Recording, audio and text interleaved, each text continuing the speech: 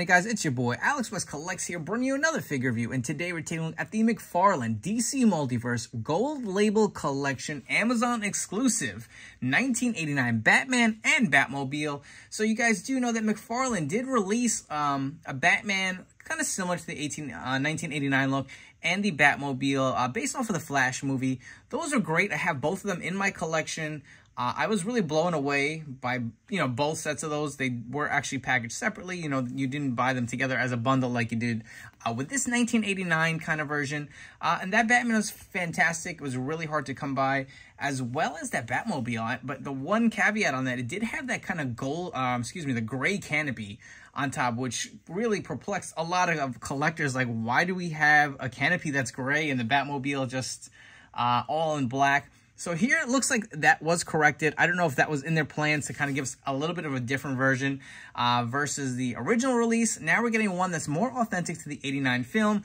And again, I love that set, but I am so happy to have this in my collection. I know a lot of people missed out on this, unfortunately. Uh, being a gold label exclusive, again, on Amazon, the pre-orders didn't go smoothly. I feel like that never seems to be the case. Uh, they always run into issues, uh, as you know, any line, not just McFarlane itself when it comes to pre-orders sometimes and a lot of people did miss out, unfortunately. Uh, I was lucky enough to snag it. I do have the original. We're definitely going to go through some comparisons, but did want to look at the packaging first. Look at the size of this box. I will say McFarlane box is really good. It was um, two separate McFarlane shippers that it came in, so uh, it's obviously in the box you see here. There was one brown box that held it, another brown box, both from McFarlane, and then it was also boxed uh, with an Amazon box. So it was pretty well protected, uh, as you can see here. Uh, but again, you do have the gold label collection sticker here. The awesome 89 Batman logo, DC Multiverse, Batman, and the Batmobile. Get the image of Batman and the Batmobile and the size. Again, this is massive. We're going to flip on over to the front here. Kind of the same image. You guys can see that on the camera. Might be a little tight to squeeze through. But let's see if we can turn this big box around. Get the image of Batman and that Batmobile. Him sitting in the car. The canopy, again, does open. That looks pretty sick. Uh, I want to crack this out of the box. We're going to do a ton of comparisons and uh, go really full on in depth of both of the Batmobile and Batman. And starting us off, we're going to take a look at the Batman figure that comes with this set. So he does not come with any accessories. The only thing you do get is your traditional McFarlane DC Black stand. Uh, the figure comes with no interchangeable hands, no batarang, no grappling gun, nothing. I think this figure really would have benefited uh, benefited from some interchangeable hands where he can hold the steering wheel of the Batmobile. He only comes with a set of fisted hands. Um, you do, if you guys do have the prior release version, obviously the more uh, modern day version of this suit, uh, he does come with the uh, interchangeable hands that have the open hands to hold the accessories as well as the fisted hands, but I believe that's a gloss finish, so I do have the figure. We will take a look at that with comparisons, but I don't think they're going to quite match up. Uh, but looking at this figure itself, again, this is a completely new suit. It's a new mold. It's a new head scan. It is not a reuse of the prior figure, just repainted. This is new. I will say, take a look at the Batman symbol. I feel like it's a really dark kind of gold. Uh, I wish this would have been a little more yellow. That's kind of how I remember it looking on his suit. Um, you know, uh, even the belt is a really dark color gold. It kind of reminds me of the Kenner figure. Was it the Crime Attack Batman that had that really gold uh, Bat uh, Batman logo on the chest? But let's bring him in real close. The head scan, I can see a decent likeness to Keaton. It's not perfect. It's definitely an upgrade from the Flash uh, figure version. You can see he's got the pointy ears. That is really nice. Again, you got the kind of nice molded suit with the abs, the nice sculpting on the uh, utility belt here continuing on, you'll see it's he's got the, you know, uh, traditional Batman 89 boots with the little sculpts here. That looks really nice. Take a look at the side.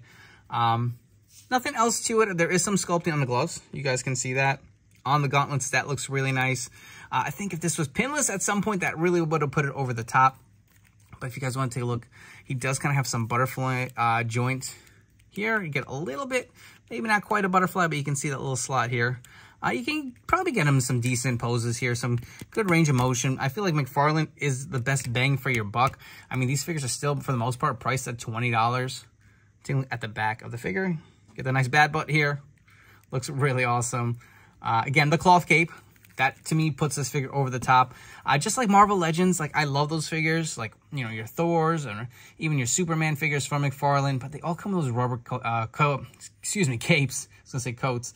Uh, I really do prefer the cloth. I feel like it, it just makes the figure look more premium. Um, and I guess maybe that's why they couldn't include any more accessories. I feel like they probably hit their budget. Uh, but this figure does look really good. Again, if you guys want to go through some quick articulation, the head fully rotates. You can get them to look about that much up, about that much down. Uh, there is a diaphragm joint. Some good range of motion. You can twist at the waist. Again, the arms do go out. He does have double jointed elbows. Does have the bicep cut as well. You get the hand rotation can bend them. Mine are actually really stiff. I tried actually trying to pop these hands off. I don't know if I have to heat them, um, but they are a little stiff. Again, he can do the full splits. You can kick up double jointed knees. Get the ankle movement here. No real rotation, no rocker. I will say that I do like how uh, this sculpt really came out looking at these boots. They just look really nice. Uh, but all in all, it's a decent Batman. I do want to jump in some comparisons and see, you know, kind of other versions 89 uh, versions of Batman versus this one.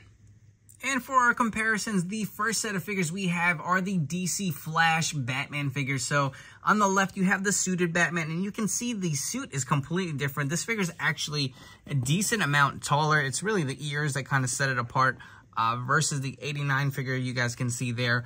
Uh, the suit, again, is completely different. You can see the sculpting on the abs. This really just has, like, Batman Returns vibes to me as far as the suit sculpt. You'll see that the Bat logo is a lot lighter than this version. Um, again, the hands, that was another thing I wanted to point out. You can see there's, like, a gloss finish to the gloves. It's obviously definitely passable um, if you guys wanted to swap those hands on your 89 Batman and have them displayed in your Batmobile if you wanted to go that route. Uh, again, this, the face sculpt, if you ask me, bring them in real close. I think the uh, the 89 one looks a lot more like Michael Keaton. This was passable. I mean, it wasn't the best, to be honest. I did like it. I was really excited to get this figure. This was probably one of my favorite Batman figures that I own. Uh, but I really do like this new 89 uh, figure. Again, you can see this, like, the Michael Keaton, like, kind of sculpts the mouth uh, underneath the cowl. And on the right of that, we have the gold label version from Target the unmasked version of uh, the Keaton Flash Batman. For our next set of comparisons, we have a few other cinematic Batman figures released from McFarlane. So on the left, we have the Dark Knight Christian Bale Batman.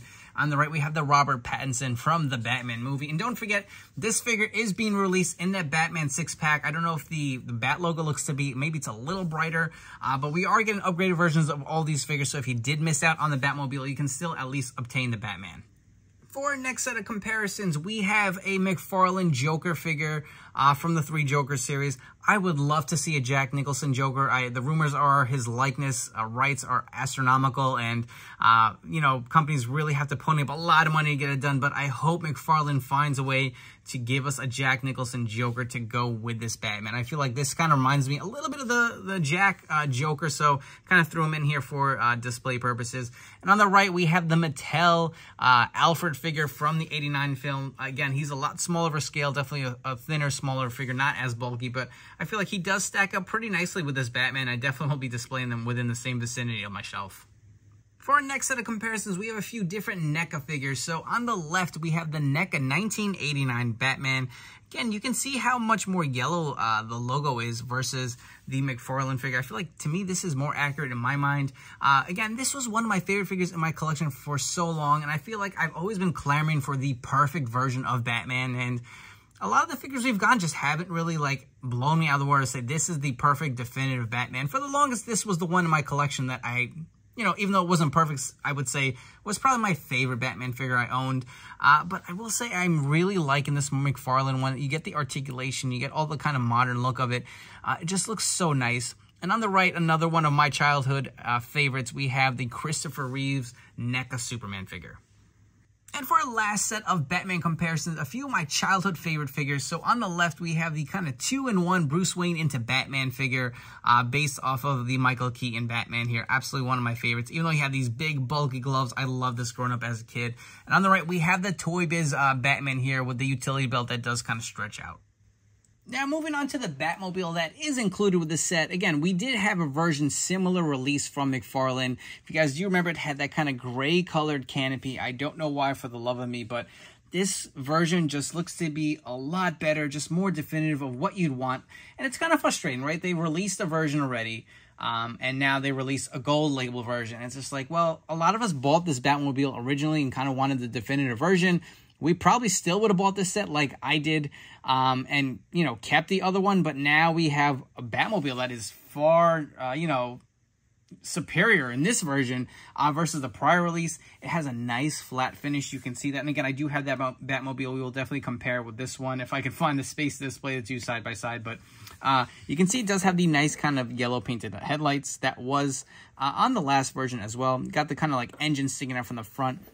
Again, you do have the guns here. They do not come out, uh, but you can see the kind of the opening. Uh, the canopy is black, and if you guys can see here, on the front, there is a button. You will push this right here, and that will pop your canopy open, and you can kind of just slide it forward and insert your Batman.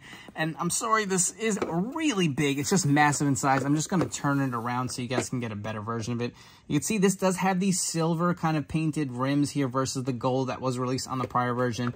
It has the same uh, molded engine here and the nice sculpting here on the side. This looks really good. The fins actually did come as separate pieces. I kind of, for, you know, review uh, video sake, just to save some time, I did pop those on here. Uh, but again, these do come off uh, if with a little force, you can probably pop them off, but uh, they do come packaged separately. You're going to have to assemble that. Um, take a look at the back. You will see the kind of turbine with a little exhaust here, the red uh, tail lights on the back, the awesome sculpt of the fins, kind of more of this design here on the back, which is really nice flipping over around again.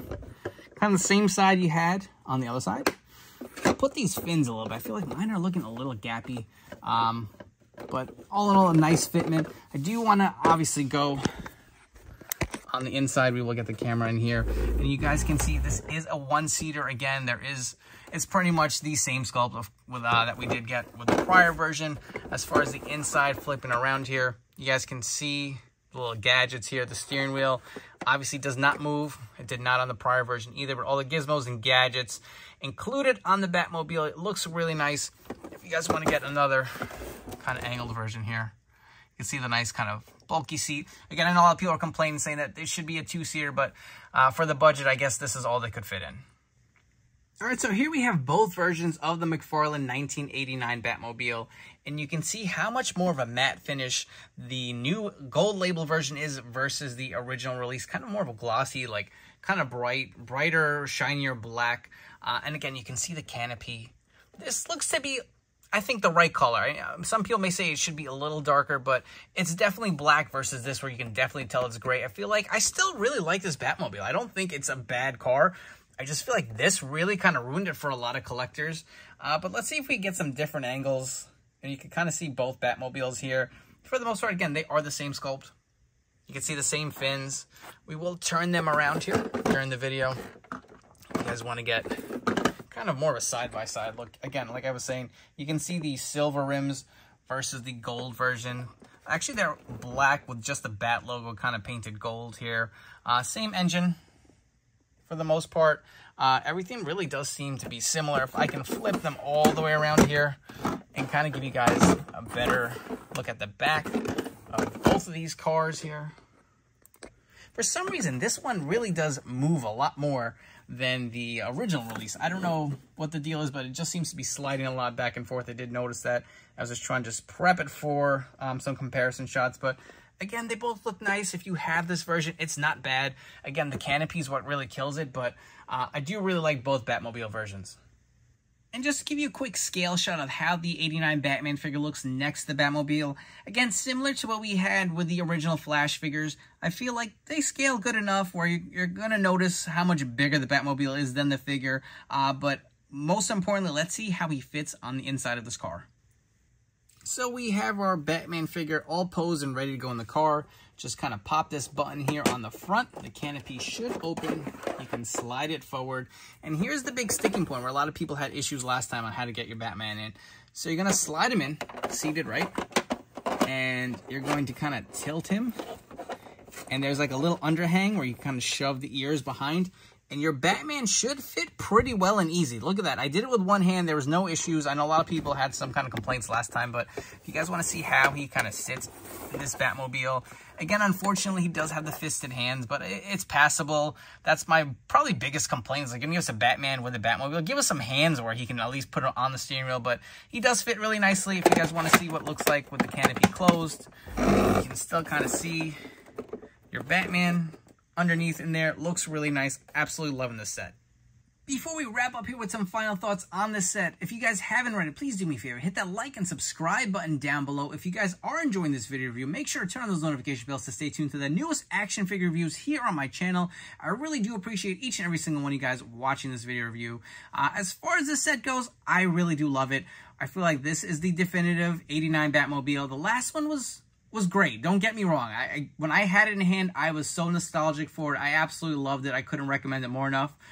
But now we have a better version. And uh, unfortunately, there were a lot of people who could not get this. I hope McFarlane finds another way for people who missed out to actually get this and add it to their collection.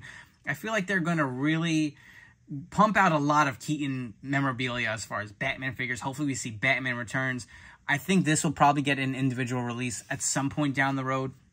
The Batman figure is phenomenal, but again, if you did miss out on this, there is another opportunity to grab it with that uh, Batman six-pack coming out, which I actually do have an order. I'm curious to see if there are any differences. I did notice in some of the pictures that people who got them early that the actual emblem is a little lighter, but I'm going to go out there and say this is probably my favorite Batman that I have in my collection. And is it perfect? No, I feel like this is the problem. I feel like every time uh, I get what I think is the definitive version of Batman as far as my collection. There's always something not quite right. Like I would have preferred some accessories or interchangeable hands to really put it over the top. But without a doubt, Michael Keaton is my Batman. I grew up watching, you know, this film many times as a kid. The 80s is where I grew up. So uh, it hits me in the good feels with nostalgia. So I definitely highly recommend this set. Um, I know it's going probably for a lot on the secondary market. Um, just be patient if you really want it. I'm sure we're going to get a re-release. I've I would bet the my, my house that they are really going to be pumping out a lot of Keaton Batman stuff. So, anyways, I hope you guys have enjoyed this video. Don't forget to follow me on Instagram at Alex West Collects. I will catch you all on the next one.